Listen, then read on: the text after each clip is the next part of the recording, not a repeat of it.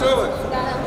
Да. Более 300 обучающихся школ городского округа приняли участие в муниципальном этапе Всероссийской Олимпиады школьников по физической культуре. Сначала учащихся 7-11 классов ждала теоретическая часть Олимпиады, а на второй день практика в универсальном спорткомплексе Подмосковье. Здесь они преодолели на скорость дистанцию 1000 метров, а также продемонстрировали навыки физической подготовки по гимнастике и спортивных играх.